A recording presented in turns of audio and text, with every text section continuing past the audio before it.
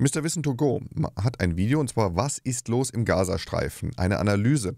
Das kommt mir gerade sehr gelegen, denn ich bin ja gestern aus Israel zurückgekommen in der Nacht, also vor, vor 20 Stunden bin ich zurück. Äh, war eine Woche dort, auch, war auch mehrfach an der Grenze zu Gaza und dort in dem Kibbutz, äh, habe auch die Verbrechen gesehen. Ich war aber auch oben äh, an der Grenze zum Libanon, also wo es richtig kracht. Ja, und da bin ich mal gespannt was, ähm, was da so der Mr. Wissen to Go von sich gibt.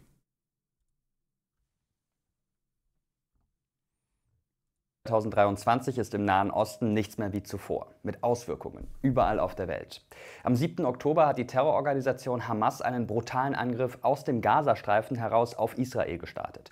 Ein Angriff, bei dem laut der Regierung ja, nicht nur auf Israel, sondern auf Zivilisten. Das muss man, das muss man immer noch mal gerne betonen.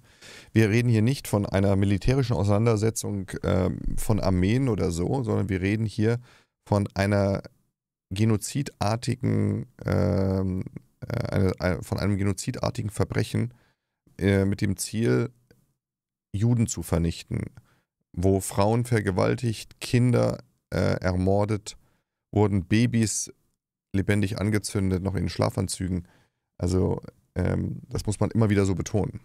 Israels rund 1400 Menschen getötet und mehr als 240 als Geiseln entführt worden sind. Der größte Teil davon Zivilisten. Als Reaktion darauf mhm. greift mhm. die israelische Armee seit diesem Tag die Hamas im Gazastreifen an. Aus der Luft mit Raketen und inzwischen auch mit Panzern und Soldaten am Boden.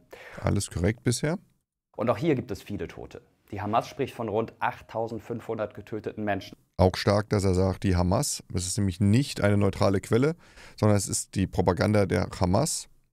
Ähm, ich werde auch künftig äh, auch nicht mehr Hamas sagen, sondern Hamas. Das, ich werde das hebräisch aussprechen, allein aus Protest gegen diese, gegen diese Mörder.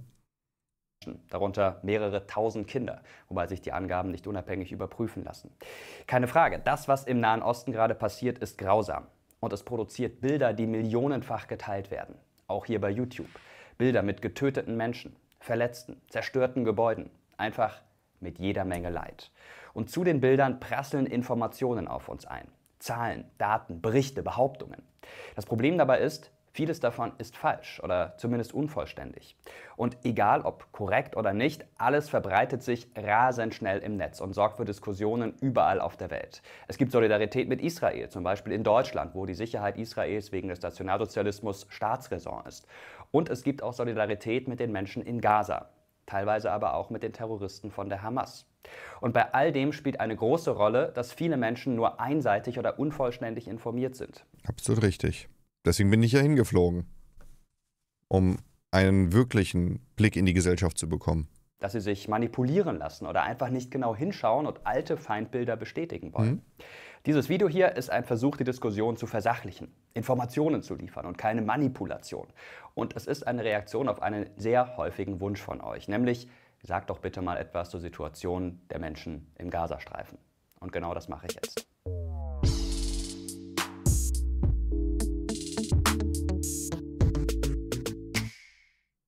Was mir zu Beginn des Videos hier ganz wichtig ist, informiert euch zu den Hintergründen des Konflikts im Nahen Osten. Beschäftigt euch mit der Geschichte und schaut euch an, was in der Vergangenheit passiert ist, in den vergangenen Jahrzehnten.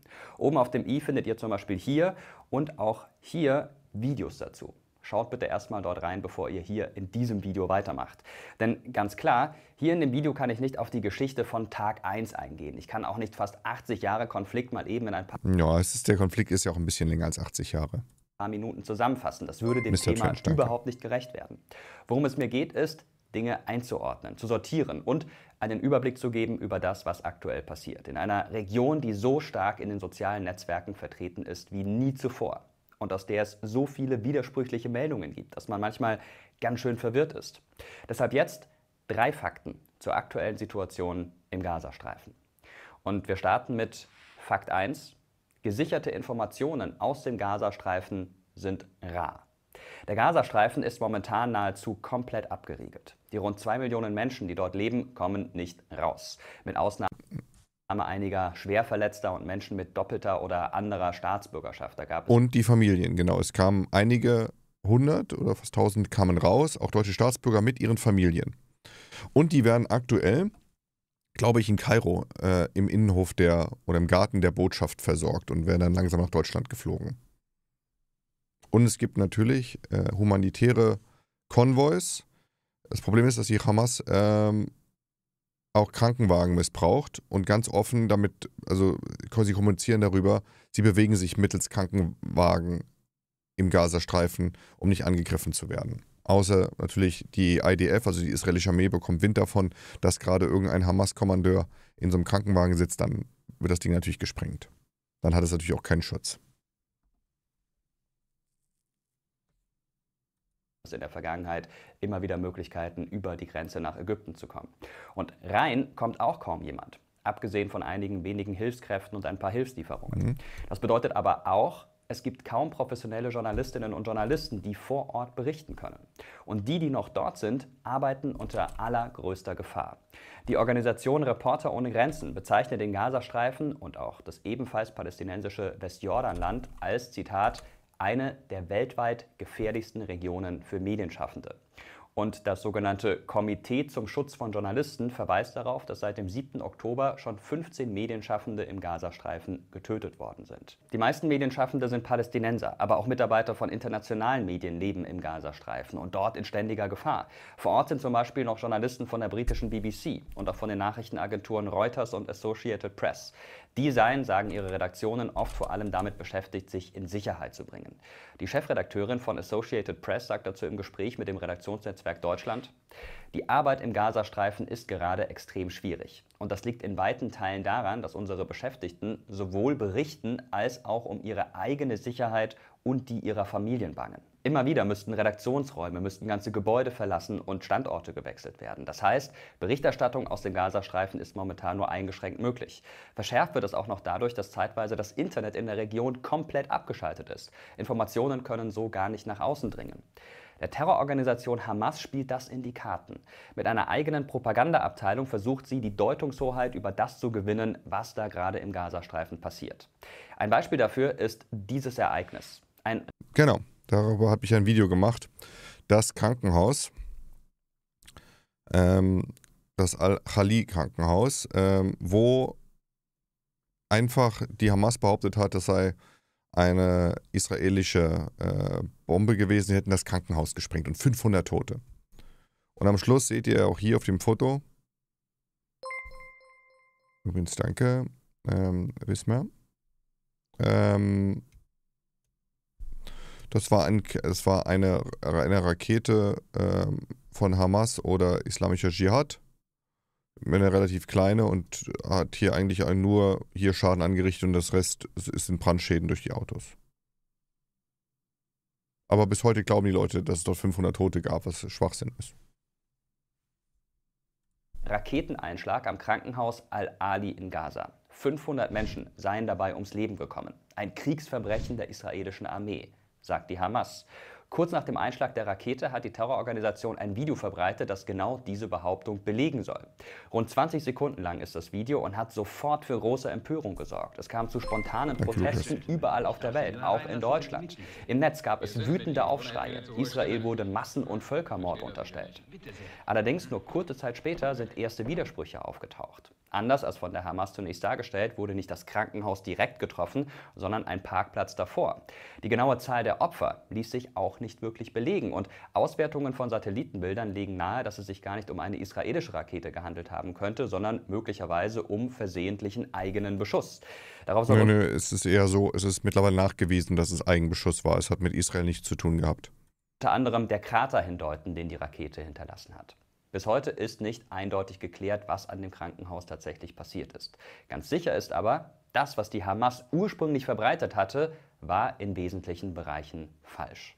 Was mir dabei wichtig ist, jeder Tod wegen dieses Raketeneinschlags ist eine absolute Tragödie. Da gibt es überhaupt nichts schön zu reden. Und natürlich muss das lückenlos aufgeklärt werden. Natürlich müssen diejenigen, die verantwortlich sind, dafür gerade stehen. Aber vieles ist eben nicht immer so, wie es zunächst scheint. Wichtig ist dabei auch, alle Behörden und andere offizielle Institutionen im Gazastreifen werden von der Hamas kontrolliert. Angaben von dort sind also immer mit Vorsicht zu genießen. Kritisches Hinterfragen, das gilt aber auch für andere Berichte, die man im Netz findet. So hatte zum Beispiel ein pro-israelischer Journalist vor rund zwei Wochen zwei Fotos bei X verbreitet, auf denen zwei Frauen zu sehen waren. Einmal ganz offensichtlich Kämpferinnen der Hamas, und einmal Flüchtlinge im Gazastreifen. Die Behauptung des Journalisten, die Hamas würde ihre Kämpferinnen als Flüchtlinge verkaufen. Kurze Zeit später haben Faktenchecker diese Behauptung als falsch entlarvt. Mhm. In diesem Fall waren Kannte ich gar nicht. andere Journalisten, die darauf aufmerksam geworden sind und Und hier ähm, schreibt doch jemand auch krass, dass keiner was zum Krankenhaus in Israel sagt, das schon mehrfach bombardiert wurde. Das ist es ja, glaube ich, das war in Ashkelon, das Krankenhaus. Wurde jetzt dreimal getroffen, interessiert gar keine Sau hingeschaut haben. Und genau das ist die Aufgabe von uns Journalisten, unabhängig zu berichten und kritisch zu sein. Deswegen bin ich hingeflogen. Zum Beispiel auch im Gespräch mit Offiziellen. Als die israelische Armee Ende Oktober eine dicht bewohnte Flüchtlingssiedlung in Gaza angegriffen hat, die auch als Hochburg der Hamas gilt, hat der US-amerikanische Fernsehsender CNN kritisch berichtet. Mehrere hundert Zivilisten sollen getötet worden sein. Mutmaßlich auch wegen der Tunnel der Hamas, die das Gelände nach dem Angriff haben absacken lassen. Das ist ja der wichtige Punkt. Also es, ist dann, es, sind, es sind dann ähm, Schäden oder äh, Zivilisten zustande gekommen durch die Hamas. CNN hatte einen Sprecher der israelischen Armee IDF zum Interview eingeladen und gefragt, Sie haben gewusst, dass sich dort viele unschuldige Zivilisten befinden, oder? Die Antwort des Armeesprechers, das ist die Tragik des Krieges. Wir hatten Ihnen vorher gesagt, dass Sie in Richtung Süden fliehen sollen. Ja, faktisch ist das richtig. Israel hatte tatsächlich schon zwei Wochen vorher dazu aufgerufen, die Gegend zu verlassen. Aber in der Praxis ist das mit der Tragik des Krieges auf so eine Frage eine höchst fragwürdige Aussage, wenn gerade hunderte Menschen getötet worden sind, Zivilisten. Es vermittelt eine gewisse Gleichgültigkeit. Nein, das wird einfach gerne falsch verstanden. Das wurde ja auch, äh, das hat ja auch Maestro bei mir falsch verstanden, als ich gesagt habe, inter arma enim silent leges. Das heißt ja nicht, dass ich dafür bin, aber das ist, das ist die Eigenschaft des Krieges. Das muss man halt einfach so wahrnehmen. Ich, ich helfe keinem, indem ich da jetzt eine Show abziehe und sage, oh, wie schlimm. Nein, es ist leider so. Es ist nicht gut. Keiner findet das gut, wenn Zivilisten zu Schaden kommen, ob sie verletzt werden oder getötet werden. Man muss es richtig, man muss es trennen. Aber, äh, aber Dankeschön für den, für den Sub. Aber es, das hat Ahmad ja auch nie verstanden. Ich glaube, ich war einer der wenigen, ähm, ich glaube, der einzige pro Israel, der ihm sogar kondoliert hat zu dem Verlust seiner Verwandten. Er bestreitet das bis heute natürlich. Klar, wird dann Show, Show abgezogen und sowas. Dass ich das nicht gesagt habe. Ich habe natürlich gesagt, ich finde das alles, ich finde das nicht schön. Warum sollte mich das freuen oder warum soll ich mich darüber lustig machen? Das ist ja auch Unsinn. Schwachsinn halt. Er nimmt das halt dann, äh, so, so jemand wie er nimmt es dann halt auch falsch wahr. Aber Tausende hier auf meinem Kanal sind ja Zeugen gewesen, wie ich, wie ich ihm kondoliert habe. Zehntausende sogar. Aber es ist ja egal. Man, man muss es halt trennen. Ups, das nehme ich hier gegenüber zivilen Opfern, Frauen, Kindern.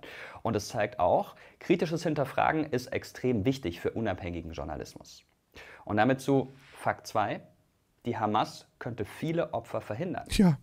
Keine Frage, wie es den Zivilisten im Gazastreifen geht, ist nicht hinzunehmen. Das geht nicht. Von den rund zwei Millionen Einwohnern sind gerade circa eineinhalb Millionen auf der Flucht. Eineinhalb Millionen von zwei Millionen. Mhm. Hunderttausende müssen ihre Häuser verlassen, ohne wirklich zu wissen, wohin Und sie die Hälfte sind Kinder, ja. Danke, Kali Seppel. gehen können. Hilfsorganisationen sind kaum noch vor Ort. Und die, die da sind, kämpfen mit den wenigen Ressourcen. Es fehlt an allem, an Lebensmitteln, an Wasser, Strom, Internet. Der Gazastreifen ist man kann es nicht anders sagen, eine lebensfeindliche Region geworden. Ja, und dann kommen Bilder von so angeblichen Journalisten und ähm, haben interessanterweise auch, das müsst ihr euch auch mal fragen, diese ganzen sogenannten Fotojournalisten, die so hochgelobt werden, warum waren die eigentlich bei der ersten Terrorwelle mit, ähm, direkt dabei und haben Fotos gemacht? Die waren ja mit den, mit den Terroristen unterwegs dann weißt du auch ungefähr, ob das Journalisten sind oder ob das Hamas-nahe Leute sind, die einfach nur gratis dann Bilder an AP und so weiter geben. Und denen, die auf der Flucht sind, drohen Hunger, Tod und Krankheiten. Die, die bleiben, sind in ständiger Gefahr, durch Raketen getötet zu werden. Trotz Vorwarnungen, die die israelische Armee laut eigenen Angaben immer wieder abgibt. Sogenanntes Roof-Knocking. Nicht immer schaffen Habe ich auch ein Video zugemacht zum Roof-Knocking. Die Menschen rechtzeitig zu entkommen. Und manchmal treffen Raketen auch Gegenden. Ähm, äh, fairerweise muss man sagen, das Roof-Knocking wird aktuell nicht mehr so betrieben. Das geht gar nicht mehr. Jetzt sind wir ja in einem äh, Krieg. Gaza, die Regierung von Gaza hat ja Israel den Krieg erklärt. Und das ist auch danke für den richtigen Hinweis. Wir haben genauso auch übrigens Inlandsflüchtlinge in, äh, in Israel. Der Süden und der Norden Israels ist evakuiert. Das wird auch so gut wie nicht erwähnt.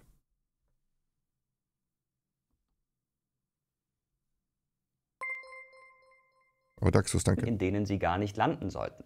Allein 3000 Kinder sollen seit dem 7. Oktober getötet worden sein, sagt die Hamas. Hunderte wurden schwer verletzt.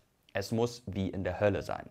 Unter anderem deshalb hatte Jordanien bei den Vereinten Nationen eine Resolution für einen Waffenstillstand eingebracht gegen den aber unter anderem die USA ein Veto eingelegt haben. Ja, die Resolution war ja auch Schwachsinn. Es ist, man kann doch jetzt nicht einen Waffenstillstand machen, solange noch die Geiseln da sind und die Hamas sich dann sammelt. Das ist ja dann nur eine Pro-Mass-Resolution. Begründung war, die Resolution würde nicht entschieden genug gegen die Hamas vorgehen. Mhm. Inzwischen, das habt ihr sicher mitbekommen, ist Israel auch mit Bodentruppen im Gazastreifen unterwegs. Vor allem um Geiseln zu befreien, die die Hamas zuvor aus Israel entführt hatte, sagt die Armee.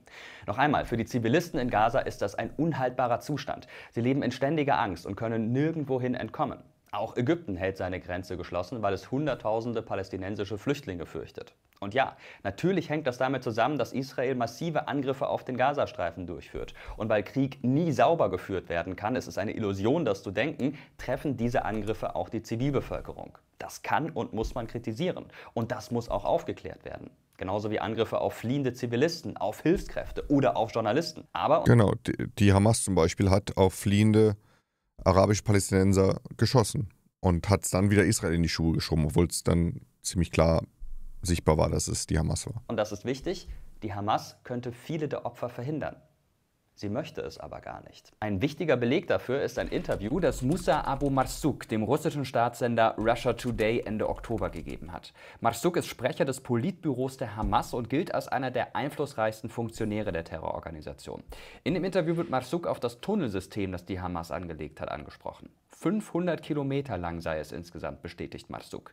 Es sei wichtig für die Hamas, um ihre Angriffe durchzuführen. Deswegen muss es komplett zerstört werden. Um sich vor Raketen zu schützen. Okay, sagt der Interviewer, warum nutzen Sie die Tunnel dann nicht auch, um Ihre Zivilisten zu schützen? Warum haben Sie keine Rückzugsorte für Zivilisten gebaut, sondern nur für sich selbst? Das ist ganz klar, antwortet Marsuk. 75 Prozent der Einwohner des Gazastreifens seien Flüchtlinge. Und Flüchtlinge müssten von den Vereinten Nationen geschützt werden. Ist geil, dass er das, dass er das zerpflückt. Das finde ich, ich finde, äh, das muss ich mal kurz unterbrechen, wir schauen das auch, da, da, ich stelle gleich weiter äh, wo die Hamas dann auch sagt, dass sie sich um die Flüchtlinge nicht kümmern muss.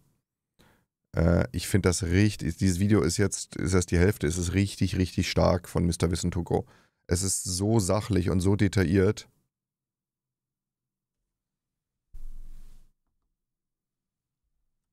Nicht von der Hamas. Abgesehen davon, dass diese Behauptung falsch ist, heißt das, die Hamas bestätigt in diesem Interview offiziell, dass der Schutz der Zivilisten für sie keine Rolle spielt. Und wozu diese Angriffe dienen sollen, das erfährt man in einem anderen Interview mit dem Hamas-Sprecher Ghazi Hamad. Nicht etwa um den Gazastreifen sicher zu machen und um dadurch Zivilisten zu schützen, sondern um Israel auszulöschen. Dieses Land muss entfernt werden, sagt Hamad in diesem Interview wörtlich.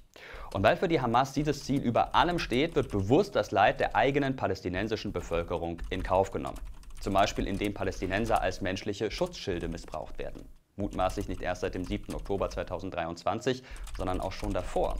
In einer Untersuchung der NATO aus dem Jahr 2014 heißt es zu diesem Thema, Zitat, die Hamas hat Raketen und militärische Infrastruktur in der Nähe von Wohn- und Gewerbegebieten positioniert ja. und von dort die israelische Armee angegriffen. Das machen sie heute aktuell aus Moscheen, aus Krankenhäusern und so weiter. Bestätigt wird das durch unabhängige Berichte, zum Beispiel von Journalisten des Guardian, die 2014 Hamas-Terroristen in einem Krankenhaus gesehen haben. Und im gleichen Jahr hatten die Vereinten Nationen Waffen in zwei Schulen gefunden. Und es gab Berichte von Raketen, die aus Wohngebieten abgefeuert worden sind. Auf Videoaufnahmen ist das auch zu erkennen. Dieser, Be dieser Beitrag hier von Mr. Wissen to Go ist nicht nur sachlich, sondern ähm, er ist richtig stark. Also er, er zerpflückt die Hamas sowas von gut und auch detailliert und, äh, und auch die Quellen sind sehr, sehr sauber erarbeitet. Aktuell versucht vor allem Israel Beweise für den Vorwurf zu liefern, die Hamas würde Menschen als Schutzschilde missbrauchen. Es gibt zum Beispiel die von der israelischen Armee gefilmte Aussage eines gefangen genommenen Hamas-Terroristen, der vor der Kamera sagt, wörtlich, die meisten Hamas-Kämpfer sind in den Krankenhäusern versteckt. Im Schifa-Krankenhaus zum Beispiel gibt es unterirdische Ebenen. Schifa ist nicht klein. Es ist ein großer Ort, der verwendet werden kann, um Dinge zu verbergen. Außerdem hat Israel einige mitgeschnittene Gespräche veröffentlicht, in denen Zivilisten aus dem Gazastreifen zum Beispiel per Telefon davon berichten, die Hamas würde sie mit der Waffe davon abhalten, ihre Wohngegenden zu verlassen. Sie müssten vor Ort bleiben. Die Schlussfolgerung daraus ist, die Hamas brauche die Zivilisten als Schutzschild. Ja. Unabhängig überprüfen lassen sich diese Informationen momentan nicht, aber wenn sie korrekt sind, dann wäre das ein eindeutiges Kriegsverbrechen der Hamas. Gleichzeitig mahnt das internationale. Die Quelle sind zum Teil. Nein, also ich, ich finde, ich finde, bisher hat er, er hat saubere Quellen. Es sind nur saubere Quellen. Völkerrecht aber, dass kriegsführende Parteien sehr vorsichtig sein müssen, wenn der Gegner menschliche Schutzschilde verwendet und dass die Sicherheit der Zivilisten über allem stehen würde. Im Gazastreifen ist das besonders heikel. Der Gazastreifen ist dicht besiedelt. Wenn man dort Stellungen beschießt, dann sind meistens Wohngegenden direkt in der Nähe. Von diesem Punkt abgesehen gibt es aber noch ein Indiz dafür, wie gleichgültig der Hamas die Zivilbevölkerung zu sein scheint. Der Missbrauch von Hilfslieferungen und Hilfsgeldern. Mhm. Ein Beispiel stammt aus dem Jahr 2016. Damals hatten Ermittlungen bei der Hilfsorganisation World Vision in Großbritannien ergeben, dass. Es, es ist, äh, ich muss gerade grinsen, weil ich das gestern noch gelesen habe. Äh, ich habe da, da, auch recherchiert. Es ist. Äh, äh wenn er, also das, äh, ich bin richtig überrascht, wie, wie krass gut äh, das ist. Dass ein hochrangiger Mitarbeiter der Organisation jedes Jahr umgerechnet rund 7 Millionen Euro an die Hamas überwiesen hatte. 7 Millionen insgesamt? Ich dachte. Stimmt. Waren sieben. Geld, das eigentlich für die Hilfe Bedürftiger ausgegeben werden sollte. Aber es wurde der Hamas zugeführt, unter anderem wurden damit Militärbasen finanziert. Und auch bei Hilfsgeldern von staatlichen Organisationen soll es immer wieder Missbrauch gegeben haben. Seit 2007 regiert die Hamas im Gazastreifen nahezu komplett ohne Kontrolle. Seitdem sind Milliarden an Euro in die Region geflossen, auch aus der Europäischen Union. Aber bei der Bevölkerung kam längst nicht alles an. Einiges von dem Geld sei für Waffen ausgegeben worden, vermutet die EU und hat inzwischen die Hilfszahlungen Einiges? an Gaza gestoppt. Und nicht nur das. Vor einigen Wochen hat die israelische Botschaft in Deutschland ein Video veröffentlicht, das von der Hamas stammen soll. In dem Video sieht man mutmaßliche Hamas-Terroristen, die aus Rohren, die eigentlich für Trinkwasser gedacht waren, Waffen bauen. Ja, Raketen, aus den Kassam-Raketen gebastelt, ja. Video war wohl von der Hamas ursprünglich zur Propaganda gedacht, um zu zeigen, zu was sie in der Lage ist. Der Verdacht dabei ist ganz klar, die Hamas missbraucht nicht nur Hilfsgelder, sondern sie nutzt auch Material, das eigentlich zur Versorgung der Zivilisten gedacht ist, um Waffen zu bauen. Damit würde die Hamas der Bevölkerung gleich doppelt schaden. Zum einen, weil sie ihr wichtiges Material vorenthält. Und, und genau das hier, was, das, was Mirko hier macht in dem ganzen Video, das ist richtig, das ist krasse Recherche. Er zerpflückt jeder, die Punkte sauber recherchiert er, er nimmt Bezug auf Videos, die ich, ich kenne die Quellen natürlich alle. Oh, da werden sich so viele drüber aufregen. Ähm, mir wird ja da und dann gesagt, oh, das ist Fake News und ich sei Zionist und sowas. Das kann man ihm gar nicht vorwerfen. Das ist einfach stark. Das kann keiner widerlegen. Ahmad wird, wird ausrasten, wenn er das Video sieht. Und zum anderen, weil in der Folge weniger Material in den Gazastreifen geliefert wird. Und damit zu Fakt 3. Es handelt sich nicht um einen regulären Krieg. Zunächst mal muss man ganz klar sagen, Krieg und regulär in einem Satz, das klingt generell seltsam. Es wirkt, als gäbe es eine Art Plan, wie Kriege abzulaufen hätten. Das ist natürlich nicht so. Krieg, das bedeutet immer auch Chaos. Was ich aber damit meine ist, hier kämpft nicht ein Land gegen ein anderes und am Ende könnte eine Lösung sein, dass es einen Kompromiss gibt, der zu einem Frieden führt. Hier kämpft ein Land, nämlich Israel, gegen eine Terrororganisation. Eine Organisation, deren einziges Kriegsziel es ist, das andere Land auszulöschen. Das Zitat dazu habe ich vorhin schon mal genannt. Und genau das steht auch in der offiziellen Charta der Hamas. Die Hamas ist also überhaupt nicht an einer friedlichen Lösung interessiert, zum Beispiel an einer Zwei-Staaten-Lösung, sondern sie möchte die totale Vernichtung ihres Gegners. Und das wortwörtlich. Laut der Charta geht es der Hamas nicht nur um die Auslöschung Israels als Land, sondern auch um die Auslöschung aller dort lebenden Juden. Nee, Und mit aller- welcher Brutalität. äh, kleiner Fehler. Ähm, die Auslöschung aller Juden weltweit. Das, da, aber das, äh, das ist jetzt eine Kleinigkeit. Ähm, die Hamas will nicht nur die Juden in ganz Israel, sondern will alle Juden weltweit töten. Sie beruft sich ja auch auf, auf ein Hadith zum Endkampf. dort lebenden Juden. Und mit welcher Brutalität die Terrororganisation dieses Ziel verfolgt, das hat man bei dem Angriff am 7. Oktober gesehen. Dem verheerendsten Schlag gegen Jüdinnen und Juden seit dem Holocaust der Nationalsozialisten. Und genau mit dieser Agenda ist es nahezu unmöglich, einen Frieden mit der Hamas zu erreichen. Natürlich Und nicht. gleichzeitig erschwert die Hamas eine Annäherung zwischen Israel und den Palästinensern.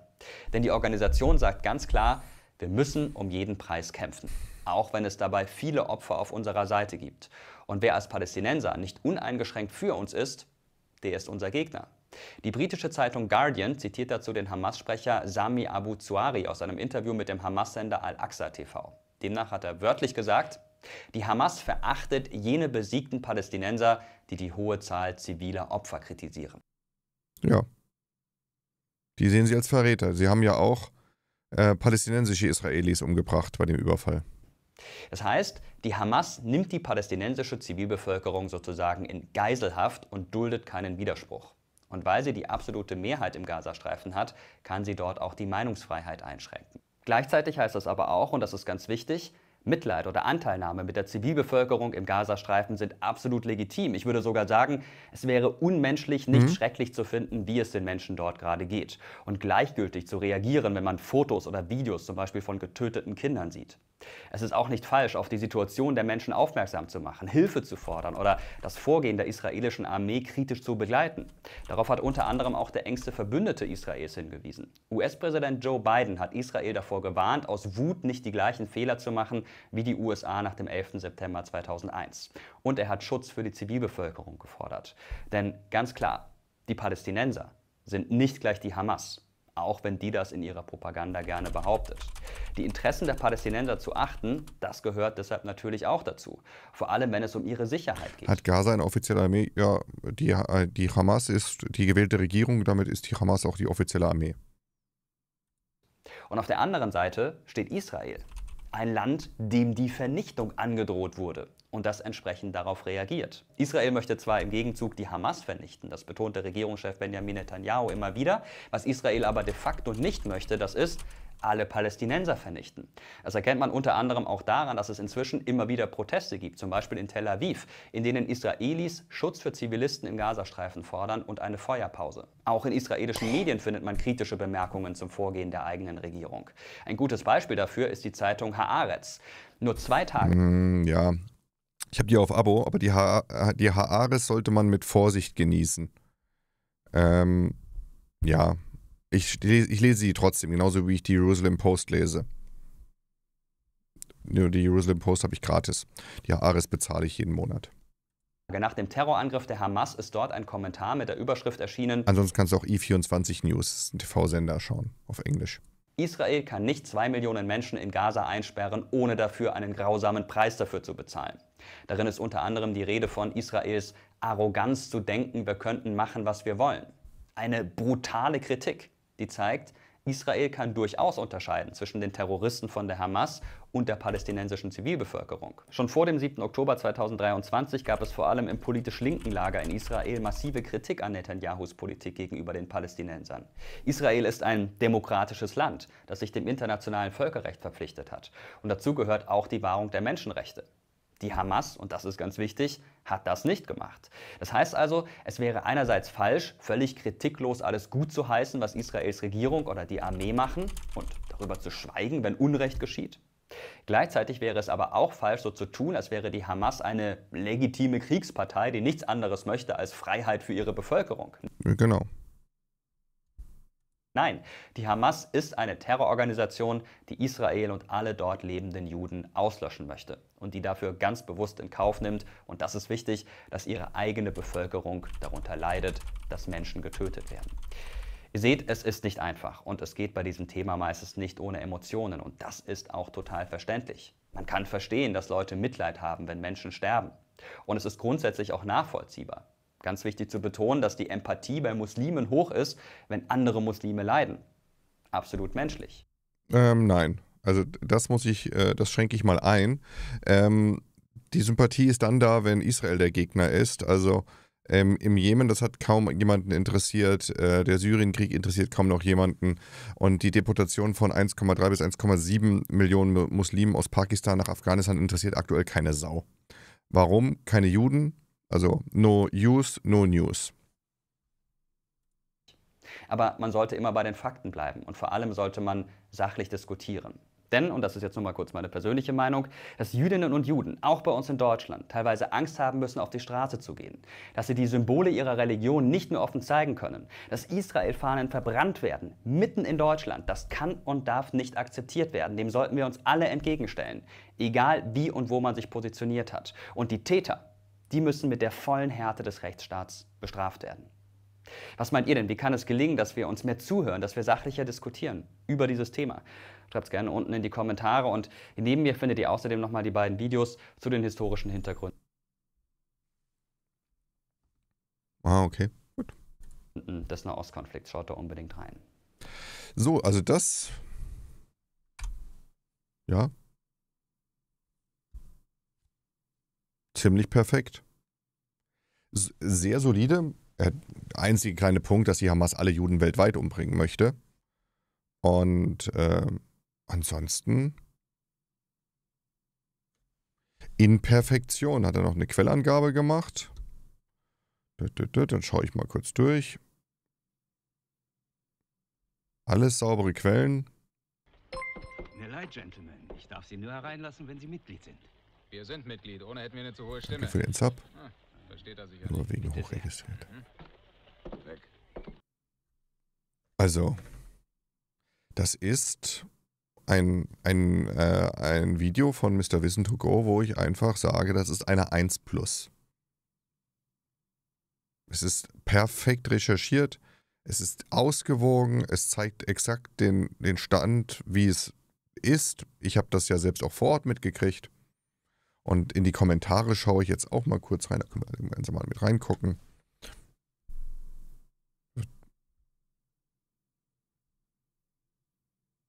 Nichts Problematisches. Ist einfach sauber. Ist einfach sauber. Also das Video perfekt. Einfach nur perfekt. Wie viel Aufrufe hat das bisher? Sehe ich gerade nicht. Ähm, doch, 370.000. Das muss eine Million bekommen. Einfach perfekt. Dick, dick, wirklich sehr dicker Daumen, Daumen nach oben. Ähm, kommentiert gerne. Bis dann.